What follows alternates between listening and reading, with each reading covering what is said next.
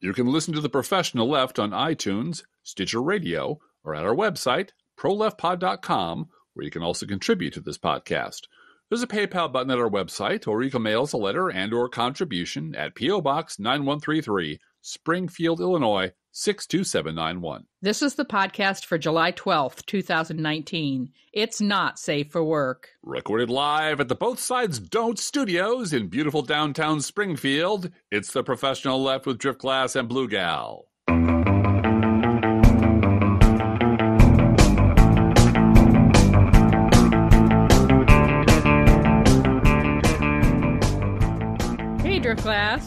Hey, I, I feel sometimes we should just change the name of this show to Both Sides Don't. Because it, it is, you know, I- and it it does my heart a world of good to see how many people have taken up that very simple battle cry over right. the years, but it really Right. is just um, as I, I reposted something from 10 years ago or nine years ago. It is strontium 90 in the milk. It's Yep. everywhere. It's everywhere. It's so creepily predictable that we don't even have to do it anymore. No. You just know that when some shit hits the fan, whoever is talking, if they're on the right or if they're trying to suck up to David Brooks, they're going to say, you know, this isn't about left and right. Yeah, it is. It really fucking is. It really is. And totally you'll hear is. you hear some variation of it's both sides, it's everyone, it's society's to blame, everyone's to blame. Um, it's such a common refrain now that uh, breaking it will be spectacular. But Yeah. It's it that's the work of a generation. That really is. But there do seem to be two modes of kind of the never Trumper mode of both sides, though. Yes. There's one mode that says, uh, you're going to need us, uh, reasonable Republicans in 2020. So you better just, you know, line up and do what we say. All 40 of them. Yeah. Yeah. And that's what, you know, Mona, Mona Charen said Yeah. this week, right? And we're, gonna, we're going to get into that because you wrote a whole post about I did. I did. her article hmm uh, her op-ed where she said you're going to need us and then the other way that the republican rebranding project is uh, being seeded right now hmm is to just completely ignore politics and pretend that this is about uh, problem solvers and Right. Uh, you know democracy really we really love democracy so much that Right. all the divisiveness is really bothering people and so really we're just going to forget about politics altogether and make it Oh. about about you know puppies Right. and that's th- Right. just this bland denial of there being any kind of a problem in the house at Mhm. all. Like you've always you've always said, clap your hands and say, "Let's make pancakes," and just ignore Right. that mom's nose is bleeding. Right? Right. This is the virtue of coming from a, a family with alcohol problems. Yeah, dis- I recognize we've had a lot symptoms. of conversations this week about alcohol Right. and uh, how it affects families, and I'm not going to get into all of that, but uh, we ha- we've had to talk with our children about you know we they have friends who have to come over here from time to time Right. and stay with us and Yeah. that's fine we're glad to have that happen Mhm. uh, but having to talk with them about how you and I both grew up in houses that were not 100% peaceful, Right. shall we say? Yes, that's true. And uh, that uh, we understand that there's times when the pl- there needs to be a, a safety valve, a place of safety to come and Mhm. and be there. So. Uh, the place of safety though isn't there's no problem at all Right. Well, and that's that's the that's the balancing act, or that's the the mental gymnastics that Yeah. children or families with with addiction problems, Right. especially when the addiction problems are in the parents, yeah have to come to.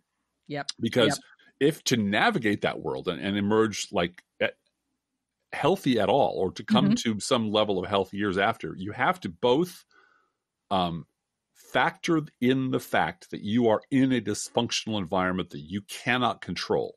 Hmm yep. And that the people who are in charge are violent or Mhm. insane or unpredictable Yep. and and cannot be relied on at Right. all. Right. and th- but they're in charge. Right. You have no say over anything because these fuckers are in charge. Yeah. And you have to be plotting your escape. You have to be figuring out how the hell do i do since there's no way to fix this environment because the problem is this person Mhm. this person is the problem Everything else is negotiable. Everything else is is contingent. But the real problem is this person right here who is an addict and who's wrecking everything around him or her. Right. Right. And when you cannot control your environment, your your best bet is to flee the environment. And that's where we're at now. As as a as a party and the sane people in this country, we're all in a cage. Mm-hmm, mm-hmm. You know, we've all we've all been put in a cage with crazy people as guards and a sadistic, lying, grifting, lunatic racist as the commandant. Class, I want to I want to pull back a little bit on your analogy sure. of being the, in the cage because yeah. we Democrats listening to podcasts are not in a cage like no. the migrants are. So no, I, no, no one no, is making that comparison. We are in an enforced relationship yep. that we don't control, we have a and we can't. Minority government is what right. that's what is happening. We have a a crazy minority uh, running this country, and mm-hmm. the sane people are not. And yet there is this uh, group of people who built this, who catered to, to the crazy, who designed mm-hmm. ads to bring out the crazy, and built a party around it that they thought they can, could control. Right. And we'll just have tax cuts for billionaires and deregulation for polluters and throw a little racism in the advertising to get people to vote for us and misogyny mm-hmm. to get people to vote for us. And uh, we'll never ha- we'll never have any accountability to the the plebes out there. And that didn't work did it? No no. Uh, and and you know who's blamed for that? Democrats. No. Democrats. That's the point. That's the point. Now yeah. that it's all you know now that the dumpster is on fire well, we're going to come over to your house now and tell you how to rearrange things so that we right. can be happy. No, this and and we talked about this a lot last week. We just mm-hmm. want to point out that Mona Charen was the designated hitter for Never Trumpers right. this week. And, and looks like just a- every single week we're going to have somebody say something along the lines of you Democrats need to behave. Right. And not go not go crazy on us because we'll have four more years of Trump if you do that. You need our votes too. Well, right. you've got a choice. You can vote for us or you can vote for Donald Trump. Right. Um, and, but I, I also am very terrified right now that Donald Trump is going to get reelected. I am too. I'm, I have every reason to be really fearful that that will happen and mm-hmm. that Donald Trump not facing the prospect of reelection anymore mm-hmm, just mm-hmm. unfettered is going to be you know orders of magnitude worse than Donald Trump is now because there's yeah. no reason for him to hold back anything. There's no reason right. for him to just not literally start prying the the uh, paintings off the wall of the White House and selling them on Etsy because who's going to stop him? His yeah. own party's not going to stop him. He appointed the judges, and the judges will look the other way. Bill Barr is just busy sucking his dick. He's not going to do yeah. anything about anything. And all it is all too easy. And this is why you and I are, are sort of obsessive about when we encounter people calling them the Trumpers or the 32% or the something, no, they're the Republicans. They're Republicans. This is the Republican Party. Yeah. Quit pretending there's something else other than that. Quit pretending there's some other Rep- Republican Party out there that's going to save you or that's, that's waiting in the wings to sweep into power. This is it. This is the party you built. And uh, to as long as we're talking about Mona Charen, you mind if we just jump into it? Let's jump right into it, and then I want right. to talk about good news after that. Sure, sure. Um, no, Mona Charen is a lifelong hard right conservative. Uh, just hates liberals. I mean, that, that's her sort of claim to fame. She just thinks liberals are idiots. She and, is, and she's written books along the lines yes. of trying to to kind of weasel in on Ann Coulter's right. She's audience, the right. She's the Ann Coulter with a PhD. Right. Uh, she the two books that, of the three that of hers that I know of are Do-Gooders: How Liberals Hurt Those They Claim to Help and the Rest of Us, and Useful Idiots: how liberals got it wrong in the Cold War and still blame America first. That's who she is. And this week she wrote an article that she got published in Politico because when you have friends in high places, you get to write things for, for publications like this. How a Democrat can win over a never Trumper, because that's our responsibility now. And if you don't think you need us, you should think twice. And it's just, it's one long study in both siderism. Wouldn't it be a shame if if we if we all turn to Caesarism. The left and the right, you know, run the risk of turning it to dictators and to Caesarism. And isn't it a shame how both sides do everything? And uh, the Green New Deal is this totalitarian thing. She says Stalin promised every kid a happy childhood. The Green New Deal is close. She Oh, re- she just reeks with contempt for everything you and I stand for. But that contempt manifested itself and metastasized and became the Republican Party and Donald Trump. And the one thing she hates more incrementally than liberals like you and me is Donald Trump because he's so rude. Because he says things. He not not that his policies are bad. She loves the fact that he's deregulating the shit out of everything and cutting taxes and making the wealthy wealthier and promising to kick people off of social programs. She loves that shit. She is a hardcore right wing fucking nut job. But she hates the fact that he's rude. And he says the, the quiet parts loud. And so she's she's saying, well, basically, if you court me properly, and if you bring the proper, you know, if you bring the proper gifts to my door, and if you lay down flower petals, I might fucking consider consenting to maybe leaning in your direction and maybe voting for someone as long as it's Joe Biden. Right. Other as than long that, I don't really know. Right. As long as it's fucking Joe Biden. And what because what she proposed that we do is um if we embrace normalcy again, we Democrats, by the way, and that for her means, and I'm not kidding, Warren G. Harding. Yep. She made she she name checked Warren G. Harding. and she she said what the worst possible outcome could be for this. It's not babies in cages. It's, it's not wrecking our alliances. It's not pedophiles. It's not ripping healthcare away from tens of millions of people. The worst case scenario, if Donald Trump is reelected, is, and I quote, conservatism may well be irredeemably tarnished. No, honey. Conservative, conservatism died 40 years ago. Yeah. You've been a parasite living off its corpse and hating liberals for a fucking living. Well, this is the world you made. And now you get to fucking live in it. And if you'd like us to let you on the lifeboat, you will shut the fuck up and you will get on board and you will paddle. And maybe in 10 or 15 years, we'll let you call out some numbers and let you move up to the upper decks. But you don't get to claim policy. You did this. This is entirely on you. And if you don't want us to leave you drowning out there among the meatheads that you created, then you goddamn well better shape up or out you go. Now, that's my take. Of course, that's why never Trumpers don't like me because I say things like that. They block you on Twitter. Now, the flip yeah. side is I'm perfectly happy. I'm perfectly content. I'm thrilled to welcome anyone into our very big tent who actually confesses and atones and promises to work to fix what they broke. I'm not interested in anyone showing up at the door blaming me for their problems, blaming me for their fucked up party. People who've made a fortune basically demonizing people like me their entire life, and now they've made a shit. Now they've shit their own bed. They want to come in and take mine. No, no, no, no, no. And I have no interest in dealing with these people other than with contempt because there's just not that many of them. Yeah, Yeah. there you're right. four of these people. And honestly, if you're a liberal and you get to talk to these people on a platform, as happened with one of the pod save things today, hmm uh, Ana Marie Cox interviewed her good friend Rick Wilson.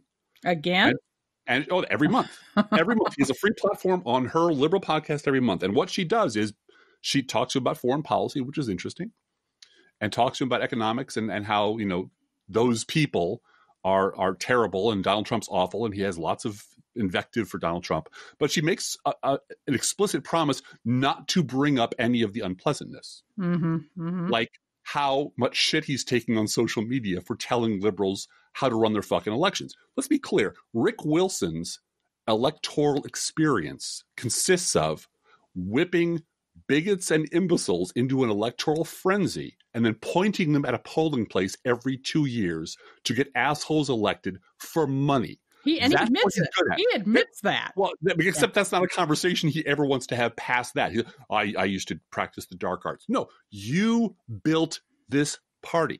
There's nothing transferable about that skill to the Democrats. We don't want to take, we don't want to hoard a bunch of lunatics and right wing assholes and bigots. We don't, there's nothing, there's nothing you can teach us about that because all the assholes, all the bigots are in your party. You brought them there, you trained them. There's nothing you have to teach us. We, we know how to win elections. But the idea that you will simultaneously crow about the fact that I've got 30 years of getting people elected, maybe you should shut up and listen to me. At the same time, take no responsibility for the fact that you won elections by turning your party into a dung heap of lunatics and assholes. The fact that you won't combine those two elements and have an adult conversation with anyone who knows, who's got your fucking number. that you'll only seek out people who promise not to ask you any hard questions because we don't want to offend Rick and the other 12 never Trumpers out there, all of whom have media gigs. Well, that's the, that's the end of my rope right there. Mm-hmm. If you are a liberal and you have a chance to confront a never Trumper in their stinking hypocrisy, do it. Now, granted, that'll be the last time you'll be allowed to do that, but still, give it a try. So, uh, I'd like to talk about how uh, the House Judiciary Committee subpoenaed the Dirty Dozen this week. Yeah. And Sure of course, they're not going to show up, but that's not the point. The point is to call it out and call it obstruction and call it a cover up in plain sight. hmm This, I realize this is going tremendously slow for a lot of people, including me. It's hard every day to wake up to the to the job that I have, writing Mhm. about Donald Trump every day. And uh, I've gotten emails and tweets and seen people that I love and respect say, you know, the Democrats in the House, we we worked so hard to elect them, and they've done nothing. hmm Number one, that's not true. hmm Um, and but number two, there's so much that I, I don't know how to put this. It's sort of like A/B testing. Uh huh. What if the Republicans had kept the House? Yeah. Yeah. and Jim Jordan was chairman of the House Judiciary Mhm. Committee. Well, we had that Well, for we had that yeah, for two for- years, Two years exactly, and nothing got Trump. done. and nothing got done. And tax cut. today, today we uh, the House voted uh, with a bipartisan bill. It had bipartisan support to put a leash on Donald Trump and his Iran war yen. And it looks like they're going to force Mitch McConnell. They're going to force it down his throat. They're going to force him uh, to to vote on the House bill in the Senate. hmm So, uh, and then we won on the census question. Yes, that's very true. That was done with ACLU and a whole bunch of other people suing, Mhm. taking him to court. Uh, as soon as he found out he couldn't switch the lawyers, uh, he decided to just have a Rose Garden celebration with the attorney, as you said, the attorney general just getting down on his knees and saying, Mhm. Congratulations, Mr. President.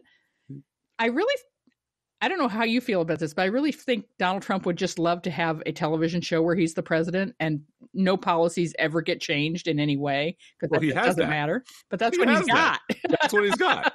That's what he's got. And and the reason that Alexander uh, Acosta lost his job is he has bad rating. Yeah, yeah, and that's Um, what that's it. passes for leadership. What passes is- for leadership is do you appear tough and Mm-hmm. uh, supportive of the president on TV?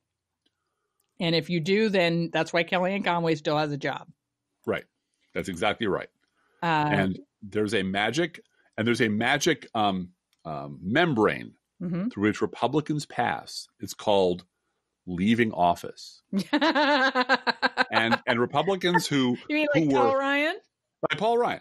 Um, and there's a long, long list of quotes that uh, pretty much any liberal can whip out, uh, covering um, um, Ted Cruz and Paul Ryan, and right down the list of, of all the people when they thought Donald Trump was going to lose, Mhm. when they thought there was a chance he was going to lose, they were just he's a nut job, he's a racist, he's a reactionary, he cannot be allowed, et cetera. et cetera. Every one of those people has rolled over for this guy Mhm. because Republicans are traitors. They're cowards. They're weaklings. They're scum. They have no principles. They have no soul. And that goes for the never Trumpers who who waited until two seconds before the the, the truck hit the wall to jump off and come over to my side of the aisle and, and tell me how to run things.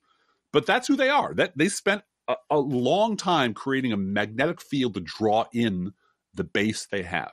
And the base they have produced the politicians they have and we've and the one of the only virtues of having written a blog now for 14 years in your case 15 years i think is you can go back and say no i really was talking about this shit during the bush administration Mhm, mhm. and here's some shit i wrote during the bush administration that is exactly what we're going through now in fact pretty much everything i wrote during the bush administration is exactly applicable now with underscores and boldface so don't tell me you couldn't see it coming because we did see it coming and you told us we were reactionary idiots and to sit down and shut up but all those people rolled over. They all capitulated. They all looked for an exit and couldn't find one and decided, well, I'll just hang out in Donald Trump's pants. I'll just hang out in his jockstrap until you know something better comes along. But the reason they capitulated is because they know their own voters. Yeah. They know the people. They know these people, these knuckle dragging, reprogrammable meatheads that they created, that they invited into their party. They know who these people are and they know they're terrified of them. But there is a membrane. You leave office, you wait a few months, you write a book, and suddenly you're full of courage. Now Yeah. that you have absolutely no authority to do anything except make money writing a book, you're full of piss and vinegar about what a righteous man you are, what a disaster Donald Trump has been. And if anyone bought, bu- buys Paul Ryan's book, I want to know their name and address. Mhm. I want to visit, because unless you're hate reading it, unless you're showing your kids, this is what a coward looks like. Look at kids. You see this guy coming, you run the other way because this is a monster. This is a soulless scumbag. Unless you're buying it for that reason, uh, I have no idea why anyone would buy a book by Paul Ryan, other than this is another way of funders to put a lot of money in his pocket by buying up a bunch of copies and making him wealthy by Yep. beyond what he is now. But the idea that Paul Ryan thinks there's a market for a book about his heroic internal spiritual journey uh, just cracks. Maybe he should go on tour with David Brooks. They could talk about their spiritual journeys together. I wouldn't be surprised if that happened though.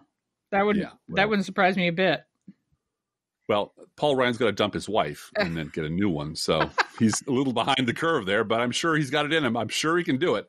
Oh man. But let's get back to um, the frustration level Yes. and how you handle it. Yes. How I handle it.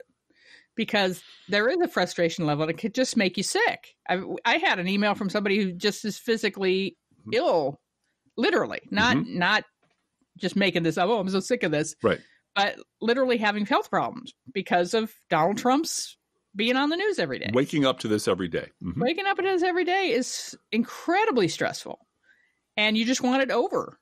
And and the temptation to blame Nancy Pelosi for not doing anything, for not starting an impeachment hearing, Right. Uh, it just reminds me that congressional leadership only does something when they're forced to do it. Yes, that's true. And so I want to get back to how do you force Nancy Pelosi to do something? How do you force Congress to start an impeachment hearing, hmm start an impeachment inquiry? And I think you have to start locally. Look at your member of Congress. hmm And I'm speaking to myself as well, my member of Congress. And this is where we get into local news as well. Um, my member of Congress is Rodney Davis. He's a Republican. I have to get rid of him. Right. In addition to getting rid of Donald Trump. That's my job. And I have much more power to get rid of him hmm in terms of the weight of my effort, what I do, because because we're still in an electoral college situation.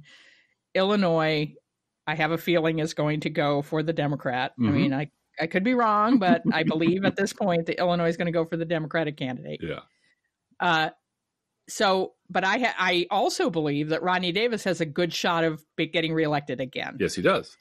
Uh, it's razor thin, and the more we work to get our voters out, the better chance uh, a Democratic candidate has to win. Yes, so indeed. I'm going to make that effort. That's where I can make a difference in terms of changing the trajectory of the House of Representatives towards what I want. Yes.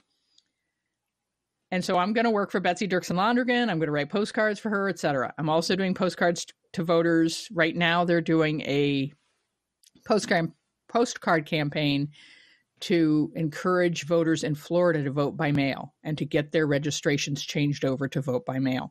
That means paper ballots in Florida. That is going to make a huge difference. sure will. So I highly recommend that you find whatever it is. Now, if you're if you have a Democratic candidate or a Democratic congressman, hmm and that congressperson is one of the 79 to 82 that have already called for an impeachment inquiry. Yeah. Great. You've got to do something else. And maybe it's postcards to voters in Florida. Maybe it's Well, thank uh, him. Right? No, thank you. and thank them Yeah. and thank them don't forget to thank them that's a good good point good point um but i think we have to find something to do because going on social media or going to email or and i'm not saying don't email me i love hearing from everybody don't don't think that but uh you know the collective whining of oh my god you know why can't why can't someone higher than me do something about this Right. leaves you powerless Right. and and makes it worse.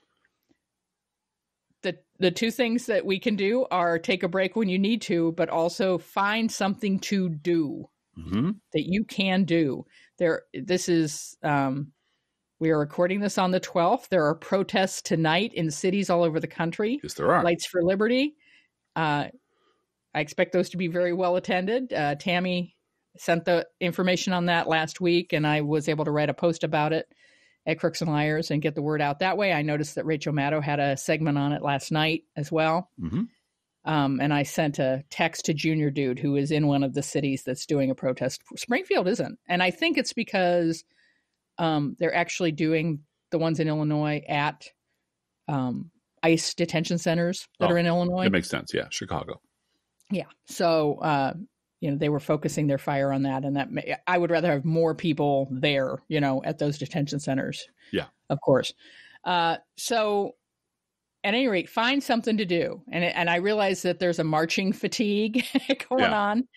Uh, but find something that you can do, whether it's postcards to voters or find that congressional candidate who's challenging whoever. I noticed that Mitch McConnell's opponent Yes. uh, raised two point eight million dollars in a day. Yep.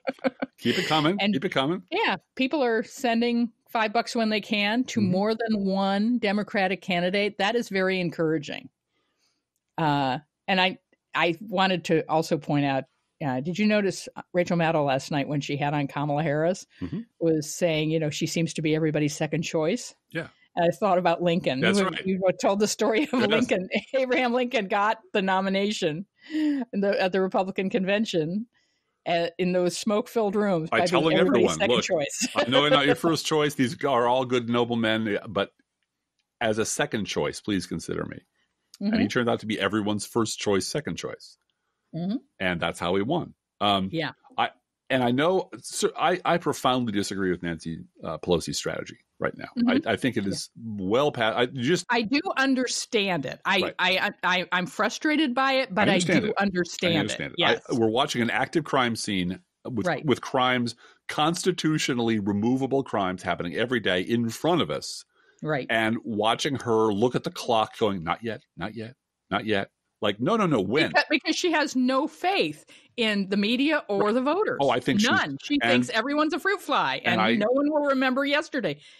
G20 was a week ago, Driftglass. I'd never heard of that. The, the president of the United States had to have his daughter Uh-huh. alongside of him to keep him from being an internet. I mean, he was already an international embarrassment, Right. but to keep him from shitting the floor, basically. I, I agree with her assessment of the average citizen. I Mhm. agree with her assessment of the media. I couldn't agree more. It is Yep. nonetheless, you know, it is not the job. In the job of the sheriff is to get out there and and do what he can. When when uh, when Gary Cooper in High Noon is out there all by himself, that's because that's his goddamn job. If Mhm. you didn't, you know, if you didn't want the job, didn't you shouldn't have taken the job. But this is your job. You're the third in line constitutional officer behind a White House that is openly contemptuous and breaking the Constitution and committing impeachable offenses constantly, publicly, and smirkingly. And if the best you can muster is we're going to look into it eventually, or that's really not our job, that's someone else's job, you are losing your most loyal base. You're losing people who really, really want to support you and and and nobody knows what the fucking plan is other than wait Mhm. and wait and wait until conditions improve and they might improve and they might not i am entirely sympathetic with that point of view i truly am on the other hand i have worked in an environment at the city of chicago where the person two two steps above me was a monster Mhm. and there's a line uh, from uh, a book called Inferno by Jerry Pournelle. It's a science fiction book where science fiction writer goes to hell, and he is guided through hell very much like Dante in the in the original Inferno, except he's d- guided through hell by Mussolini, and uh, and all the way through. He's looking at this terrible injustice and things are wildly out of whack and people are in lakes of fire who committed relatively trivial offense and he's bitching and bitching and bitching to his guide why don't you do something about this? Why don't you why aren't you working? Why aren't you fixing this? And eventually his guide turns to him and says i too am in hell Mhm. oh that's Mhm. right this is hell there is nobody here in charge except the bad guys i had to tell people who worked for me in this horrible environment being run by an awful, awful, sadistic asshole that I'm in hell with you. I can't promote you. I can't change the situation. I cannot fix what's broken with this organization. The only person who can is the mayor, and he's not going to. So we can either do the work we can do or we can all leave. But I can't fix it. Even though I'm your boss, even though I apparently have some authority, I cannot fix what's broken about this organization, which is a terrible thing to tell people, but it's true. Mhm. That's an adult conversation. I think we would benefit from an adult conversation with the Speaker of the House. I think we would benefit if she I, don't tell me what your secret secret plans are. Don't you know? As Hal Sparks says, don't play with your cards face up. Mhm. But you have to give me some clue as to what's going on because here's here's my flashback. The whole Obama 12 dimensional chess thing, we're going to compromise, we're going to figure this shit out. That was a complete failure. Complete failure. He got uh, Affordable Care Act passed, for which I am truly grateful. But this whole idea that we're going to compromise and promote and we're going to cajole and we're going to this and we're going to give them half of what they want and then we're going to give another half and another half, and we're going to compromise, eventually the fever will break. That was the plan. Oh, I see. Yeah. You, you're sacrificing my liberal policies and my liberal values to a monstrously evil party on the assumption that they're going to get better. And that eventually they'll round the corner and they'll start working with you because we really do have big, scary problems that we all have to deal with. And and all of us on the left are saying it's not going to work, man. You don't understand these people. How the fuck do you not understand them? They're, you're the political genius. We're just morons out here in the cornfield. Why are you not seeing that this strategy is doomed to fucking fail? Because the people you're dealing with are awful and they want to hurt you. And the more you are vulnerable to them, the more they will stick the fucking knife in. So I'm worried that she's operating on some beltway delusion of what the Republican Party will or won't do if certain levers are pushed and pulled. Very much like David Brooks fell apart after Donald Trump was elected. you know, he's sit, he's out there telling people, "Don't worry, it's going to be Marco It's Rubio." be Rubio. Don't worry, Yeah. the establishment's coming to the rescue. Well, every time a- an authority figure has reassured us that they got this, they got this, they have failed in the last 10 years. Every time. And maybe it's time for those authority figures to take us a little bit more into their confidence and tell us, look, we're not going to sneak off and give the Death Star plans to Mitch McConnell, but you got to give us something more than wait, wait, the time is not yet right, wait. Because you're the person who told George Bush that he could Yeah. get off scot free. So your credibility is a little bit much. Yeah. Yeah. Yeah. Yeah. all your impeachment mulligans are kind of used up. So I get the fact you're a genius. I get the fact you're marshaling resources. You're trying to keep a whole bunch of disparate people together and moving forward. And we made it through 30 years of sliding down this razor blade into a puddle of mercury uh, without losing hope. hmm What are you doing now, Drift Driftglass, to push Donald Trump out of office? Work local. hmm work local. First of all, my my belief is that we, especially like our podcast and the work we do when we write, is to give people like us a way to understand the conditions that we're in. hmm So, number one, the press is not your friend. number two, the never Trumpers are not your friend. And number three, you got to work just like you said, work Mhm. locally. So, um, for example, our our congressman Rodney Davis. Yes, this is this is we're going to go local now.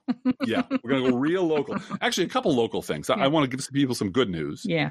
uh, because elections do matter. Our governor, J.B. Pritzker, disinvited the band Confederate Railroad from the Illinois State Fair. Do you know why, Blue Gal? They fly the Confederate flag at their at their concerts. Yes, and he said, and I quote: "The Feder- Confederate flag is a symbol of murder, rape, and treason, which it sure as hell is." Instead of the Confederate Railroad Band, uh, J.B. Pritzker got Snoop Dogg to come Yeah. to the state fair, and the the young people, the people under twenty in this house, are way more Yeah. excited about Snoop Dogg Snoop, coming to the fair. Snoop's coming here. We got to buy tickets. We got to do this now. Come on. So, uh, yeah, he he has some pull in uh, millionaires Mm-hmm. and billionaires circles to get uh, a headliner that People might actually care about. yeah the kids want to go see for sure. But yeah, a couple of states away, the Tennessee governor. Nathan Bedford Forrest Day. Yeah, tomorrow is Nathan Bedford Forrest Day in Tennessee. Now, for those of you who don't know anything about American history, Uh, Nathan Bedford Forrest was a Confederate general and a very skilled and good one. He was also the first Grand Wizard of the Ku Klux Klan and a ruthless, murderous traitor and domestic terrorist. That's all he is. And he's being celebrated in Tennessee by the governor because the governor is a Republican, and that's how Republicans roll. So in Illinois, and he's terrified of his voters. Right, he's terrified that they're going to turn on him like the Klan and come for him in the night. So he has to give them something, and he's giving them a, an honor of uh, honoring Nathan Bedford Forrest, who's a traitor, who's who's a top tier domestic terrorist, and should be um, sh- children should learn of him like that. So over in Illinois, Confederate Railroad can't play at the state fair because the Confederate flag is a traitor's flag. Over in Tennessee, yay, it's Nathan Bedford Forrest Day. And that's why elections matter. And that's elections why working matter. local. So I, I, did want to mention uh, Rodney Davis, our Congressman Rodney Davis. Uh, this is the person that we're going to be knocking doors and mailing postcards and phone banking, giving what little money we can to the candidate to knock him off. Um, yep. He has, like many Republicans, like all Republicans, really, he has his own unique theory for why things are the way they are. uh, that, yes, that, it has no that it's always self-absolving it's always we did nothing wrong it's always it's someone else's fault and that fault is usually nancy pelosi so uh-huh. when asked uh, he was on wcia which is a television station in champaign illinois and he was asked uh, why there are so few republican women in congress and there are too few members of our Republican conference that are women or African American or a minority. Davis told a group of women uh, on Monday of this week. I get asked a lot, what do you th- think as a Republican with the fact that you have many fewer women in your conference today than you ever have? He continued, and I'm not making this up. I would like to remind people that it's Nancy Pelosi who, in many cases, spent millions of dollars to elect a male Democrat over a female Republic in swing districts. So it's Nancy Pelosi's fault that there aren't that many women and damn few minorities in the Republican Party. Because Nancy Pelosi looked at party over gender. Shocking. To elect Democrats. Shocking. She had no she had no motivation to elect Democrats. Yeah. She should have just elected women. Right, just women. Just the vaginas. just line up with the vaginas. We're going to cut and off. If they're Republicans and and anti-choice right. and anti-healthcare yeah. and yeah.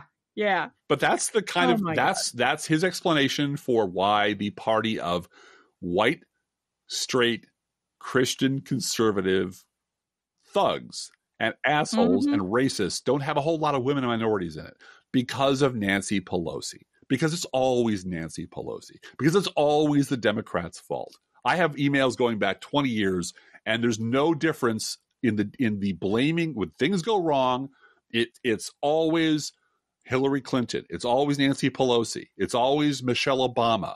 Uh, uh Michelle Obama. It's always the mm-hmm. Kenyan usurper.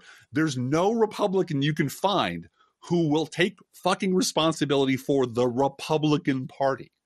That's their strength. They just won't do it. And they really and there's a whole lot of of someone has to take responsibility for it because it's really big a pro- it's a big problem the republican party really is the single greatest existential threat facing this country period and someone has to take responsibility for it and since we blame liberals for every other fucking thing under the sun let's blame them for how shitty the republican party turned out and you and on social media tom tom nichols does this all the time tom oh my god tom yes. nichols who was on morning joe this morning who's explaining that basically, well, you know, the problem is that you run these lefty, lefty, lefty candidates and you basically drive people into the Republican Party's arms. And well, okay, let's look at the last lefty, crazy, lefty lunatic that drove Republicans crazy was a guy named Barack Obama. And here's how twice. and here's how Republicans reacted to him. And I, there's like a 20 minute video of the Kenyan usurper and Glenn Beck and Sean Hannity and everyone in the Republican Party and uh, Rupert Murdoch all just losing their shit uh, birtherism. Uh, he's a commander in chief. He's the latte saluter. He's not up to the job. He's not really an American. He hates people. He hates white people.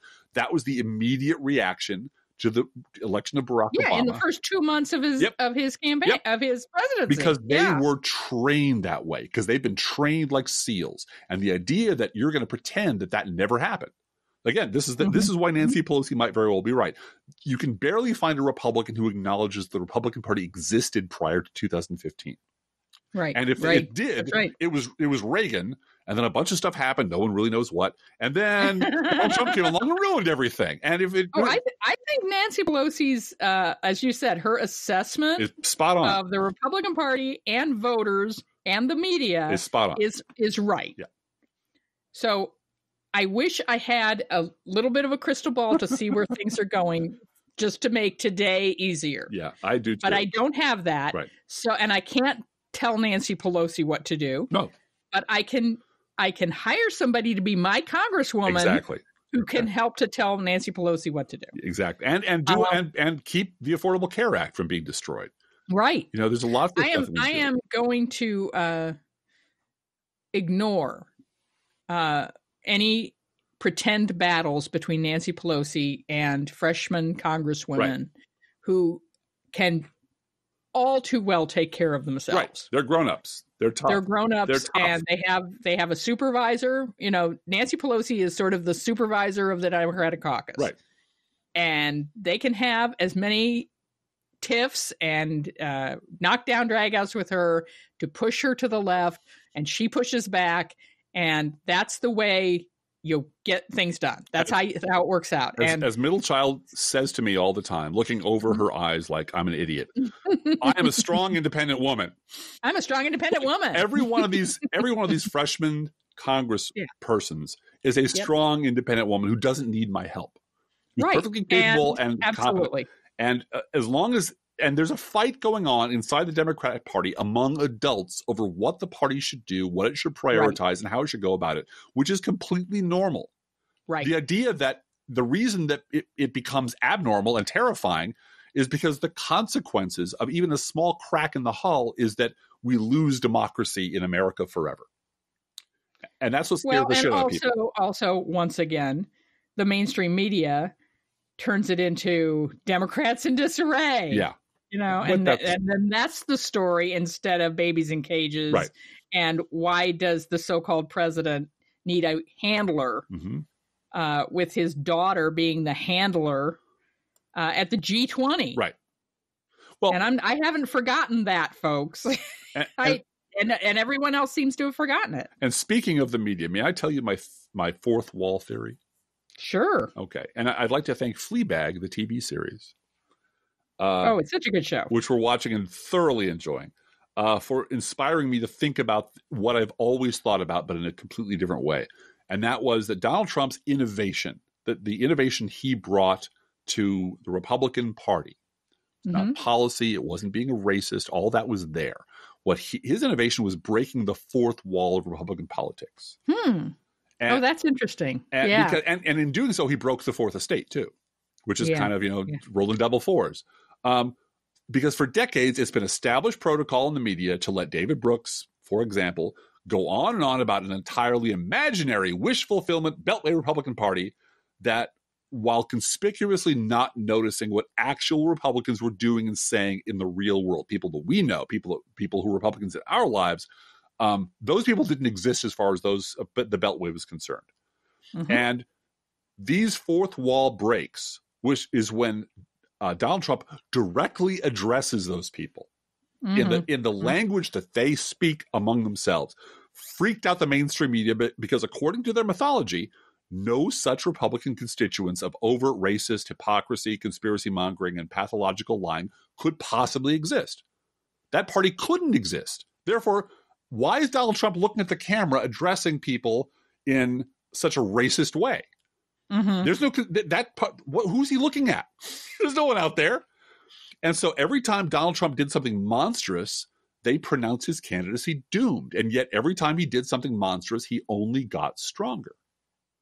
And that's what they couldn't bear that he broke the fourth wall. That the whole conceit of the media is that the real Republican Party didn't exist.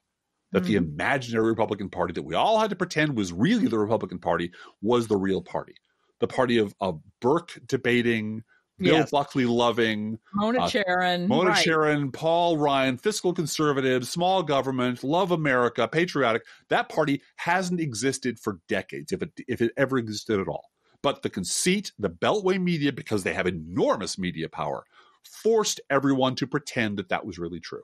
And Donald Trump looked straight through the fourth wall at the bigots and imbeciles that he knew were out there and talked to them directly. And that freaked them the fuck out because he's not supposed to do that's supposed to be the death sentence.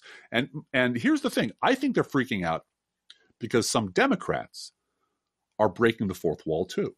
Mm-hmm. You have Mhm. Democrats like Elizabeth Warren and AOC speaking directly about the Republican Party as an existential threat to the country, which you're not Right. supposed to do. Right. And that's that's where Democrats in disarray, disarray comes from because Mhm. there are certain norms, certain politenesses, certain civilities you're not supposed to violate, even though they've been, even though they're dead, even though the only people who, who obey them obey them because they get paid to do so. Mm-hmm. And so when Elizabeth Warren points at the GOP and says, they're the fucking problem, you're not supposed to say that. And that freaks out the same people who were freaked out when Donald Trump did it. I think that's the real correspondence between the two. The direct address to the invisible audience out there in the world that we all know exists, that we all know really runs the Republican Party, and which everyone in the media has paid themselves for decades to pretend was our imagination. Mm-hmm. Mm-hmm. That's really interesting. I had not thought of it that way. I mean, that is populism, Uh-huh. but it's populism with a television angle, which I really like. That you know you are talking directly to the the camera. audience. You're talking to the audience, and you're Yeah. not supposed to do that because the audience is not supposed to be there. Yeah, and that explains Twitter too. It really does. It that's really a, That's a direct that bypasses all of the filters. Except And- it doesn't, because what No. happens is then his tweets get read out or printed out or whatever by Politico. Yeah. And still fed. I mean, there there's so much complicity in the mainstream media for for Trump, and that's something we also have to deal with.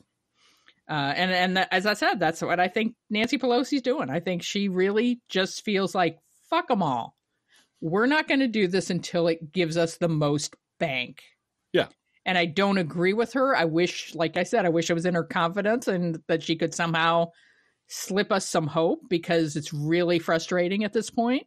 Mm-hmm. Uh, but this is not an election year, and this is the summertime, and people aren't paying attention. Right. And people have the memories of fruit flies. And if you don't hammer it right up into their nose right before they're going to vote, I mean, look at what happened with James Comey. Right. Hillary Clinton had, you know, Barack Obama hug her on stage at her convention, Mhm. and Donald Trump's convention was a shit show. was it was a Nuremberg rally, Yeah, it was a Nuremberg rally. It was Yeah. it was scary crazy how bad it was. and everyone in the media assumed that Hillary would win. Yeah, right. So it's okay to dump on her all you want, James Comey. It's okay to fuck her campaign up all you want, James Comey, because of course she's going to win. So Yeah, it doesn't really do any harm, Right. uh, except it did, it did radical harm. A lot of people know that uh, next Tuesday is my birthday. It's also my mom's, my late mom's birthday. Yes. I was born on her birthday, and I always have happy memories of her. I uh, Mother's Day is hard, but mo- our shared birthday is, is for me uh, a calming day. I, I Yeah. have happy memories of my mom on that day. Yeah. Um, but she died three days before Donald Trump was elected president. And I was Mhm. so glad that I was able to assure her that Hillary Clinton was going to win. You know, Yeah. that Yeah. there, we- we even had Republicans in our family who were going to vote for Hillary Clinton because Donald Trump is such a mess. Right. And uh, she was assured of that because, Mm. You know, she went. I will tell you this now that she's gone. Uh, she checked herself into the hospital when uh, Bill Clinton was impeached Uh huh. because it depressed her so much that uh, she was. I, I mean, I'm not saying she was massively suicidal, but she was depressed enough that the hospital wanted her to spend the night. And uh, it, she takes it. She takes these kind of things very personally. Mm-hmm. She did, and so uh, you know, So I, do we. mer- we do, but mercifully, uh, you know, she was dying of cancer and she was in hospice and so forth. And mercifully, she passed away before Donald Trump, before that night, because that would have just devastated her. Uh, it devastated all of us, but uh, I'm I'm glad that if she was going to pass, that she passed away before that night happened, because it was a, it just would have caused her a lot of pain that she didn't need to have. So Yeah.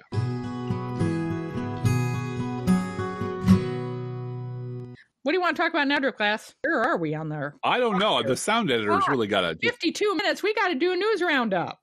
Oh my God. Okay. well, you know what? Fortunately, really light news week. Not much happened this week. I love you, Driftglass. Thank you for the perspective. I love you, darling. Yeah. Well, it, you know, same shit, different week. Uh, yeah. It, Love, loving each other keeps us going too.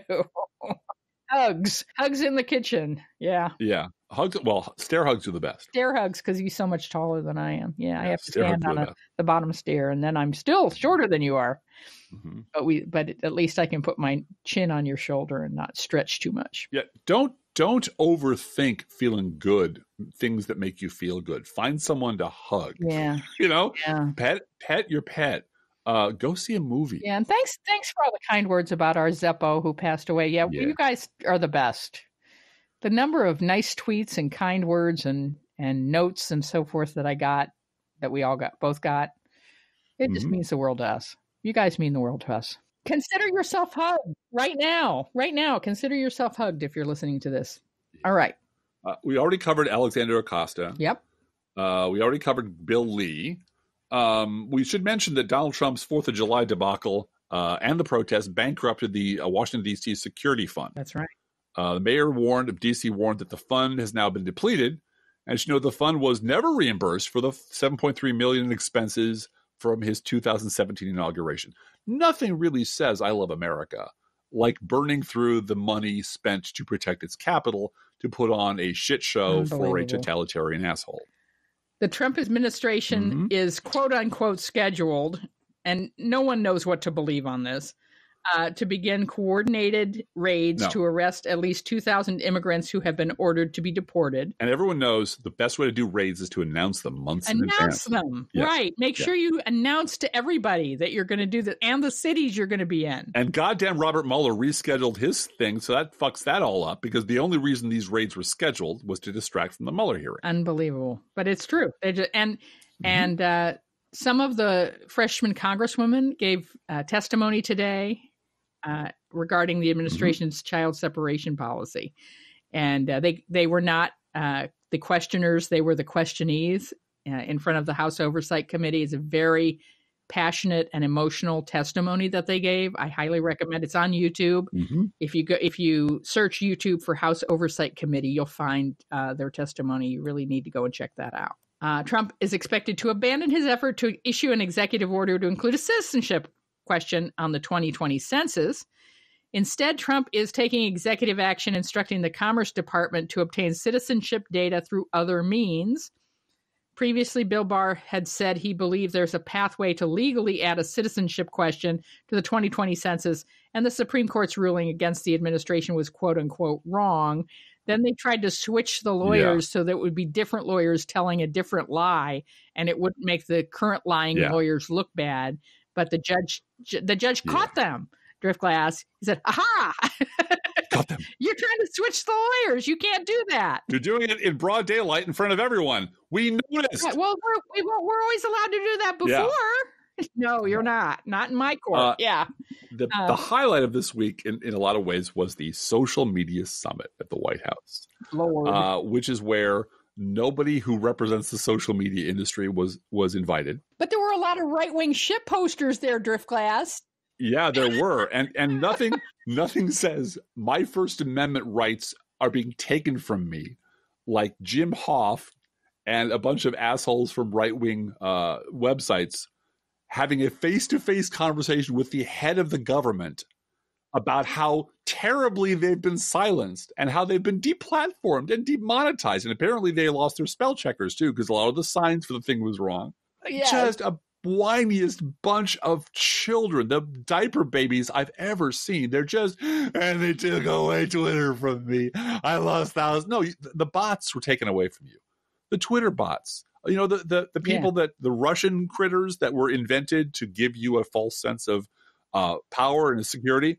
To right. give you forty And- and- followers. and they took 'em all away. yes, Right. But yeah, th- they were all bent out of shape about their First Amendment rights because in the in the Rose Yeah, in Garden, in the- the, Rose Garden, talking to the leader of the free world, quote about unquote. how yes. they have no rights and they're be- and really not since Glenn Greenwald used to go from network to network to network complaining that no one gave him a platform. Uh, have I been sort of like amused and horrified by the, by this sort of thing at the same time? This sense of absolutely limitless entitlement that uh, if anything bad happens to me for any reason, there must be a fucking conspiracy behind it. And all putting all these assholes in the same room and putting the the number one troll in the universe at the head of the table because he's the president was uh, just, first of all straight out of idiocracy, and secondly, just I got to find something funny in there because the fact that this is really happening and and of course of the what if Obama had dot dot dot people were out in force today? And Yeah, and I said but right. but remember uh 2016 never happened. So Never never happened. happened. Uh, Obama who? I don't know who that is. None of these people remember any of this shit. None of these people remember the beer summit. None of them remember how how they flipped out over czars. Oh my god there's a czar? You're going to appoint someone to be a czar. Uh, Donald Trump has discovered Article 2. Apparently, somewhere in Article 2, it says the president gets to do whatever the fuck he wants and everybody shut up about it. He just discovered this. Never before has there been so much power concentrated in one president. Me. Me. Yeah. I, I have powers and, and unlimited powers that no one's ever seen. So many powers no one's ever seen. And uh, again, these are literally the same carbon based life forms who three years ago were shitting themselves because Barack Obama appointed czars and Barack Obama, uh, uh, John Fugelsang said, because because Barack Obama had Common to the White House. Yep. Invited Yep. Common, the most harmless, the most genteel, the most kind rapper in the universe. Invited him to the White House. These people, people lost their shit, and now they're putting QAnon lunatics in the Rose Garden with the President of the United States. Well, that's okay, that's cool, and that's why you can't reason with them. That's why trying to explain to them anything outside of their universe is going to fail, and that's why trying to hold the people who built this monster factory like the Never Trumpers, asking them to take some tiny fraction of a bit of responsibility for this will also fail because Republicans are at some congenital level incapable of admitting they're wrong and incapable of of admitting error. They can't do it, and so please uh, amuse yourself on social media trying all you want. I know I do, but it's a fool's errand. They never do it, and they never will because that's what makes them Republicans. Um, we talked about the the subpoena cannon. That's great. Uh, well, it's great. And the fact that we know no one's going to show up, don't be frustrated by that. No. Realize that that is that leads to the clarion call of cover up, cover up, cover up. And that is something that breaks through to a lot of people's bubbles of I don't I don't think anything's happening. Yeah, there is something happening. It's called a cover up. Mhm. The White House is engaged in a cover up and that is the meme that we need to be drilling into people's heads over this. How is it possible that the House has has subpoenaed you and you're not responding at all to any subpoena? Uh, this week, a State Department intelligence officer resigned in protest after the White House blocked portions of his written congressional testimony on, wait for it, climate change and its threat to national security. Rod Schoonover, I believe that's how you pronounce it, spoke before the House Intelligence Committee in June that climate change is a, quote, possibly catastrophic threat to national security. But the White House would not let him submit evidence and data supporting his assessment. Anti science people, they're, they're, I don't know what to say. I don't know what to say. I don't know how you can vote for anyone that supports this kind of action. I, I genuinely don't understand. I mean, I do understand because I'm a writer and I can sort of imagine the characteristics and I can go out and talk to people who are like this. But how fucking depraved do you have to be to be anti causality, anti science, anti enlightenment? How fucked up do you have to be that that's the hill you want to die on and you want the rest of us to die on the hill with you? Well, it's it's uh you know, they should have their teeth drilled by not a dentist. That's Yeah. how I feel about you it. go. You know, operated on by not a surgeon. All right. But you know, he's not a politician. That's what I like about him. I bet he's saved. He he has Article Two, though, you know. Mm-hmm. Yeah. So he's not a whatever. All right. Trump said the U.S. will no longer deal with a British ambassador who called him inept and his, said his administration was dysfunctional Yeah. in leaked cables. That is such a terrible thing to say. Yeah. And Jimmy Kimmel said, You know, Donald, I wouldn't have known that he said any of those things except you tweeted about it. That's what they said about me? yep.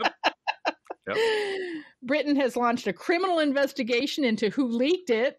Yeah. And uh, also, um, a lot of other countries off the record said, yeah, we would have said the same Yeah. thing. I, I have a feeling that inept and dysfunctional are the nicest things. That's the That nicest words they came up with. That Yes. everything else can't be repeated on a family broadcast, so they're, they're keeping it to themselves. But yeah, what's the nicest possible thing you can say about this traitor and disaster area in the White House? This is my diplomatic Uh, language. Yes. uh, let's just say inept and uh, dysfunctional.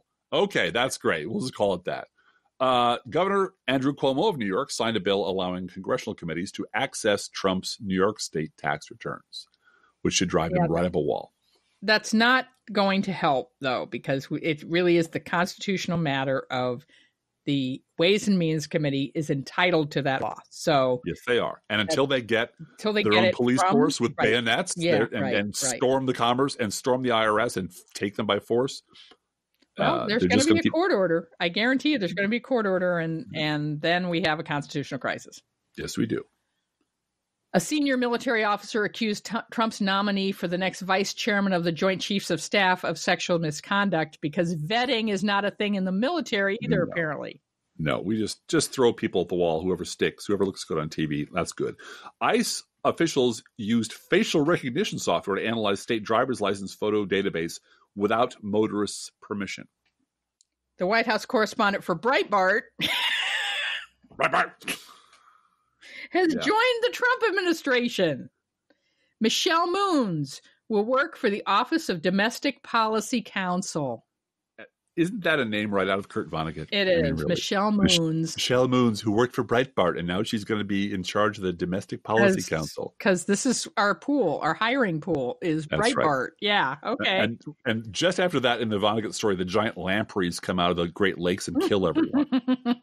um, Donald Trump violated the First Amendment. You know that that amendment that we're all uh, in favor of by blocking people on Twitter who criticized or mocked him. A federal court has ruled, and he can't do that. You're not allowed to do that. You literally are the government, and you can't block people who want to protest the silly shit you say on Twitter. you know, a so sane president would have just kept the POTUS account and not tweeted, yeah, not well, paid any attention to it. But, you know, we don't have that right now. No no, Although I hope the next president of the United States, the Democratic woman who's elected to be president of the United States, Mhm. retweets old Donald Trump tweets every goddamn day. every well you know what i think i think the woman president who we will elect in 2020 will turn to her female vice president Yeah. in 2020 right, good luck. and say you know what i'd like you to do Yeah. uh, and you can flip a coin whichever one you want um, here's what i want you to do i want you to spend an hour a day uh, tweeting donald trump's old tweets every day Every you know, tweet him every during day Fox and Friends. yeah, every day every day four hours every day Fox and Friends, and then tweet retweet Donald Trump's old tweets every day. You know those word a day calendars i Yeah. want a tweet a day Every day. calendar i want Every day. everything everything day. this asshole ever said repeated over and over again never forget the that end of Donald time. Trump was president, so-called president of the United States. We're never going to let you forget that that was your party. and yet no one voted for him, which is going to It's be going to weird. be amazing to see. Oh no, Mhm. I'm an independent constitutional conservative. I never liked the tweeting. Yes, you did. Yes, you did. You voted. Oh, speaking of which, I had somebody block me on Twitter today. Driftglass. It wasn't. It wasn't Donald Trump. Oh, um some this this thing where congress voted to rein in donald trump's war with iran Yeah, say no you right. can't do that you need congressional approval to declare war on Mhm. iran someone tweeted gosh these these politicians do anything to keep their jobs And I said, Yeah, given that we haven't paid for the last time a Republican lied us into war, maybe voters are wised up to it a little bit. And she blocked me. I, I think if I were uh, the Iranian foreign ministry, which I'm not, but if I were, he called Donald uh, Trump, he was not nice. He called Donald Trump mentally retarded. uh, well, that that isn't That nice. not It's, nice. you know, no. it's it's politically incorrect. Yes, it's it's not- accurate, but it's politically incorrect. Uh, I would also include. I, I would just have a website up Yeah. Uh, with a clip from Thunderdome going. It says, "Break the deal, face the wheel," and that's all it says. If you want any answers to why we're enriching uranium, why we're racing towards a nuclear warhead, why talk to your fucking president. What break the deal, face the wheel. yeah. Donald Trump, here's the thing. Donald Trump doesn't understand how deals work. No. he really he doesn't. Said, I reneged on a deal that was negotiated by the king usurper. Okay. That's what I did. And then they, they said the they weren't going to go with the deal I reneged on. Those sons of bitches. Yeah, that's exactly and, right. That's wow. exactly right. And there's no one around him to just just look at him like, Grampy, we got to take the car keys away from you now well, and, and walk whole, you down. The whole, whole House Republican caucus is now saying we don't have oversight over the White House. What? What? Have you read Article Two? Have you even read Article Two? Yes, I've read Article Two. I've read all the articles. Part in it. yeah, I've read the supplemental material. I've read a few of the Federalists even. And yeah, Benghazi, you, Benghazi now has their panties in a twist over no, congressional no, oversight. No. Yes. Benghazi happened before 2016, yeah, Blue yeah. It doesn't, doesn't count. count. Nothing counts yeah. before today. And that's the eternal now in which those people now live in. Um, I believe it's your turn. Yes, it is. Uh, Immigration and Customs Enforcement started using three new for profit immigration detention centers, investment uh, for Republicans, I'm sure, despite mm-hmm. instructions from Congress to reduce the number of people in detention. And a federal appeals court dismissed an emoluments lawsuit against Trump. All three of the judges on the panel were appointed by Republican presidents. And it, there was apparently a, I have heard on MSNBC a collective groan when they figured out who the judges were going to be. That this was this was going to go nowhere. Um, yeah. This is the job of Congress to impeach Donald Trump over emoluments and put him on trial mm-hmm. for it. And yeah, it, that is that's, that's true. It. That is their job. Yeah. That is, and Congress, well, the Republicans have decided they don't want to do their jobs anymore, and their voters, their voters are perfectly okay with that, and that's that's where we're at. That's what happened this week. That is this week in history. Future generations, if you want to know what happened the week of July 12th, this is it. Each week, we post to our Facebook page and website an Internet Kitty sent in by you, the listeners. This week's Internet Kitty is Sawyer. He is an orange kitty with beautiful eyes, and he loves freshly poured cat food, our fake sponsor. Yes. Whether you buy Pet Store Perfection or Dollar Store Drek, your cat will sit on the kitchen floor and demand that the cat food they eat is only freshly poured uh, we played this jingle last week. This is a jingle by Soprano Spinner on Twitter, who sent it to us, and we love her for it. Thank you. Freshly poured, freshly poured. Oh lord, freshly. And you can visit Sawyer at our Facebook page or website. You can send your internet kitty or other pet to us at our email address, proleftpodcast at gmail.com, or you can also write to both of us feel free to write us. We love hearing from you. Driftglass, we got a note this week from California, added a contribution inside and a note that said, Sorry, this is so late. You're never too late. Uh, we appreciate your your contributions. It's my birthday next week. I love birthday cards, and uh, it's never too late to send a donation. But here's an opportunity for you to put off procrastination and uh, send me a birthday remembrance, and send a donation to the podcast, and we so appreciate it. Be aware that if you write us at any of our addresses, we reserve the right to read your email or U.S. Postal Service. Go Postal Unions! Letter on the air unless you say otherwise.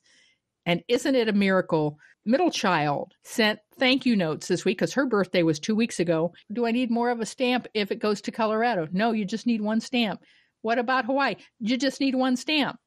And isn't that a miracle that for 44, 47, 50 cents, under 50 cents, you can send a first class letter anywhere in the 50 United States of America? It is a miracle. It is a miracle. It's one of the earliest inventions of our uh, of our of our government and one of the most enduring and the most adorable. Don't forget our gourmet coffee guideline. If you can afford to buy an espresso based beverage for yourself, an iced coffee when it's nice and hot in July, hey, buy one for us. This is not charity. This is our job and a labor of love. Approximately 1% of our listeners support this podcast with a contribution, and you can too. See our website, proleftpod.com, for details. Both our PayPal and postal address information is there at proleftpod.com. I just got an email from Tammy, our angel nerd. She's heading to the detention facility to do the protests. So bless her heart. YouTube might be up a little late. She does the YouTube for us, so it might be up a little late tonight. She is she is on the side of the angels. She is, and she's in Texas, and she's going to a protest at a detention center and on her way. Mm-hmm. And we bless her with all the good mm-hmm. vibes we can send her way. Please share our show on social media and thank you for doing that. Hey, Driftglass, how are the Internet Kitties doing this week? You know, Blue Gal, the Internet Kitties break the fourth wall all day, every day. They sure do. Let's think about living. Think about living. Let's think about loving. Let's think about the hooping and the hopping and the bopping and the loving, lovey dovin'. Let's forget about the wine and the crying, the shooting and the dying, and the fellow with a switchblade knife. Let's think about living. Let's think about life. Professional Left podcast is recorded under a Creative Commons license, copyright 2018.